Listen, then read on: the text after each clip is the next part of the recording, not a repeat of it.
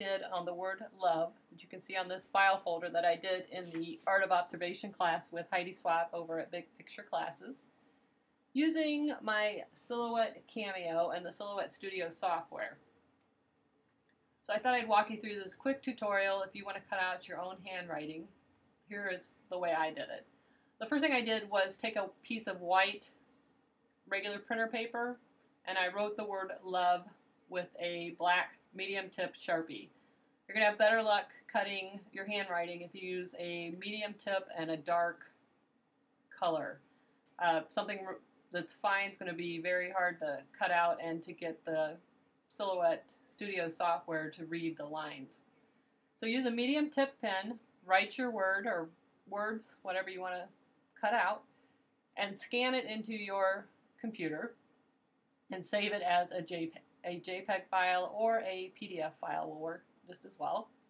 What I like to do is scan it, save it to my desktop, which is, you can see my love right here that I wrote. That's the actual file that I used to create this. And then you're going to open your Silhouette Studio software. I don't know if you are aware or not that you can open a file. You can obviously use File, Open, and go through and find it. Or if it's on your desktop, which is what I like to do when I'm creating with the software, just drag it over to your workspace. And you can see that came in really big. It's not a problem. We just click on it. We'll go to our alignment window, our scale window. And we're going to change this to 8.5 by 11. Click Apply. There we go.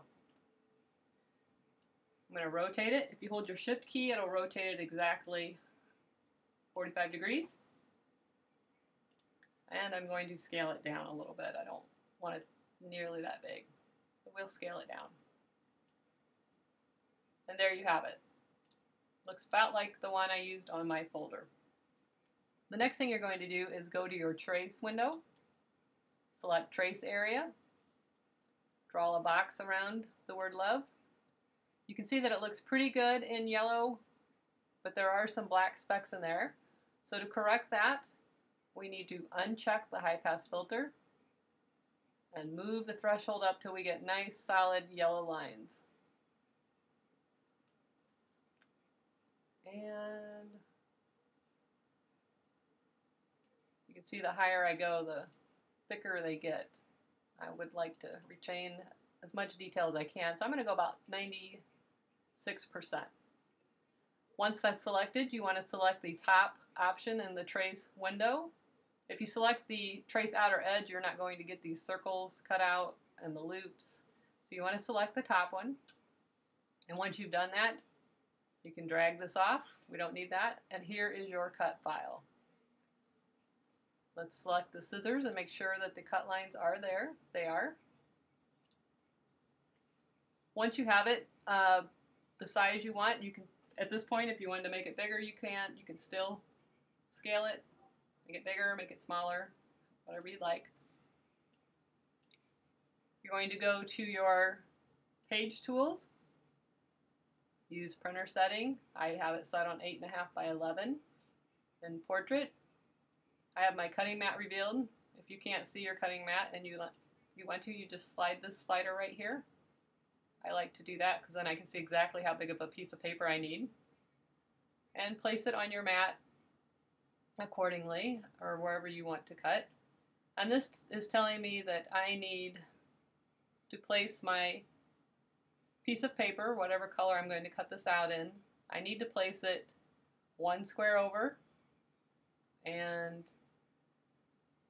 this is 3.495 inches by 4.5, so I just need a piece of paper a little bit bigger than that.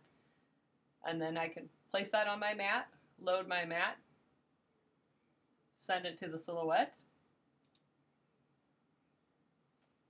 check your settings. I chose pat pattern paper, medium weight, 65 pound, and that's what I usually use if I'm cutting, uh, say, Stampin' Up! solid cardstock. That seems to work pretty well. That will make your blade setting at 3, your speed at 5, and the thickness at 30. You need to change your blade, or if you haven't already. and then you'll just cut it out, and that's all there is to it. And by the way, my Silhouette Studio software today had an update, and did you notice all this new, the new options up here? There's some fun stuff coming, it looks like. Uh, the options are now pattern paper, glittered flock paper, textured cardstock, glitter cardstock, the vinyl, which has been there, the heat transfer, the flock heat transfer, double-sided adhesive, adhesive magnet paper, printable magnet sheet, printable foil, I know that's new, printable white sticker paper, temporary tattoo paper, fabric cotton print, cotton canvas, printable heat transfer material, rhinestone template material, print paper, cover stock, and silhouette sketch pens. So there's some new stuff up there. I, I, just noticed that today when I went to choose my paper. So I can't wait to see what they've got coming out. Anyway, I hope this tutorial helped. And if you have any questions, don't hesitate to contact me at lauriestory.com. There's a email link on there. Or if there's something specific you would like to see a tutorial on using the Silhouette Cameo or Photoshop, send me a note and I'd be happy to make a tutorial for you. Thank you. Have a great